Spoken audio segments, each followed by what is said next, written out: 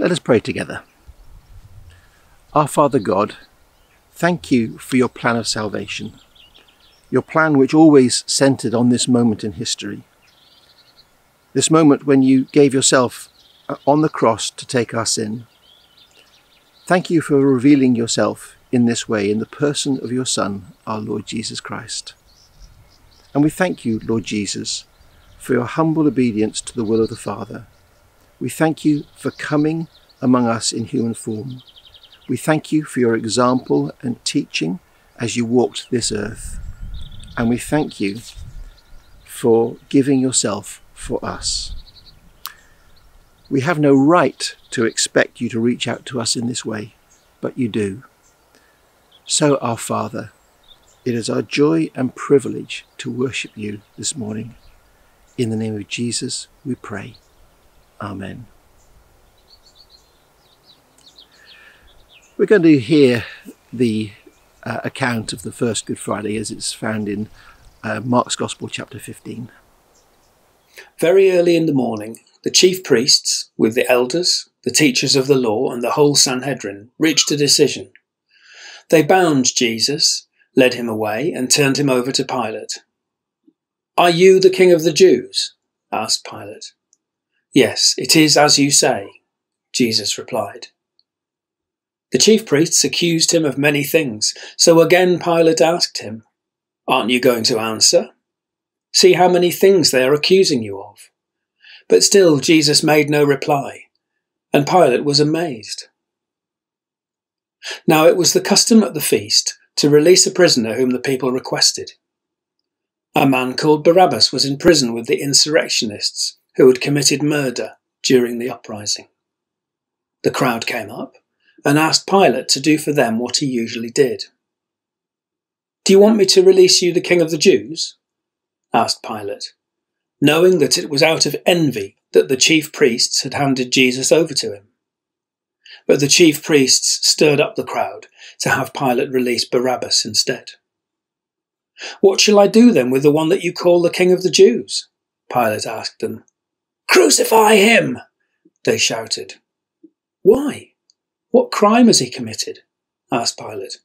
But they shouted all the louder, Crucify him! Wanting to satisfy the crowd, Pilate released Barabbas to them. He had Jesus flogged and handed him over to be crucified. The soldiers led Jesus away into the palace, that is, the praetorium, and called together the whole company of soldiers. They put a purple robe on him, then twisted together a crown of thorns and set it on him. And they began to call out to him, Hail, King of the Jews! Again and again they struck him on the head with a staff and spat on him. Falling on their knees, they paid homage to him. And when they had mocked him, they took off the purple robe and put his own clothes on him. Then they led him out to crucify him. A certain man from Cyrene, Simon, the father of Alexander and Rufus, was passing by on his way in from the country, and they forced him to carry the cross. They brought Jesus to the place called Golgotha, which means the place of the skull. Then they offered him wine mixed with myrrh, but he did not take it.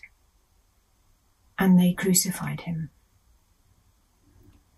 Dividing up his clothes, they cast lots to see what each would get. It was the third hour when they crucified him. The written notice of the charge against him read, The King of the Jews. They crucified two robbers with him, one on his right and one on his left. Those who passed by hurled insults at him, shaking their heads and saying, So you who are going to destroy the temple and build it in three days, come down from the cross and save yourself. In the same way, the chief priests and the teachers of the law mocked him among themselves. He saved others, they said, but he can't save himself. Let this Christ, this King of Israel, come down now from the cross, that we may see and believe. Those crucified with him also heaped insults on him. Well, thank you to Martin and Anna and Anne for reading so beautifully for us. When Jesus became a man, uh, as soon as he entered into human history, he became a victim of human sin. And uh, Good Friday is a day packed full with the ways Jesus is a victim of human sin. Start with, there's injustice. There was injustice because the trial was a complete sham, and there was injustice because he, he didn't blaspheme. Uh, we know from a number of places in the New Testament, from numerous references, that those uh, rulers of the Jewish nation wanted Jesus dead. There was no way a trial there before them would be a fair trial. And also, we, we find that that accusation of blasphemy, that uh, technically Jesus doesn't blaspheme. Uh, certainly, he would have annoyed them by claiming to be Messiah, and he would have scandalized them by talking about sitting at the right hand of the Most High or or the power. Um, and they saw that as putting himself perhaps equal with God. But you notice he, he doesn't say the name of God. He doesn't uh, misuse the name of God. He doesn't uh, in any way pull God down. Uh, it's just a claim he makes. Uh, but they find him guilty. So there's that fundamental injustice going on in the trial. Now, the trial, of course, wasn't in our reading today. Um, some people see it on, on the Thursday night. Uh, the way I read it, I think it comes into the the Friday the Friday morning, very early in the morning. He's being tried, and they find him guilty. Then, of course, there's um, the uh, the sin of betrayal. The the betrayal by Peter, of course, is the famous one, but probably far more consequ consequential on Good Friday is the betrayal by Pontius Pilate. Pontius Pilate absolutely knew that Jesus was an innocent man. He had the power, uh, he had the legal power and authority to say, no, this man should not die. But he didn't have the, the courage to actually defend Jesus. How many people throughout human history have suffered because the powers did not defend the weak against false, false accusation? And indeed, on, on a more personal level, how often do we fail to defend those who are vulnerable because we're too cowardly to stand up for them. Then, of course, uh, there's that whole issue of hypocrisy that Jesus was a victim of.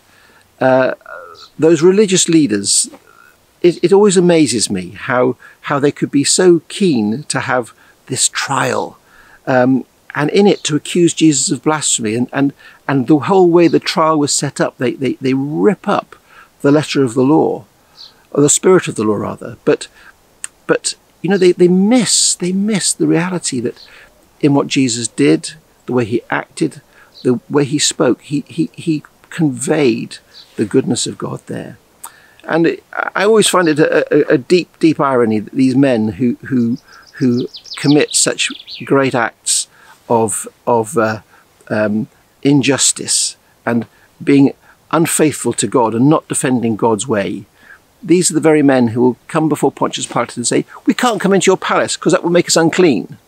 And they say to Pontius Pilate, Please break the, the, the legs of those criminals on the cross because they need to die quickly because we can't have criminals on the cross on the Sabbath. They've, they, they want to keep their religious niceness whilst being completely unjust.